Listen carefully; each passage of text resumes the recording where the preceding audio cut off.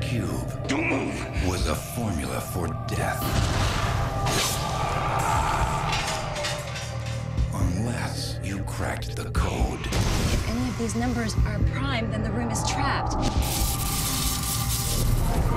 Oh my god. But now, Hello? Anyone here? terror has a new dimension. So, does anyone remember how we got here?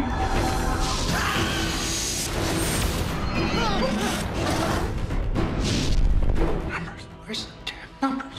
This isn't a game. The first one had rules. In this place, space defies reason. All the realities are starting to collapse. Time has no meaning. Think that this is just an optical illusion or something?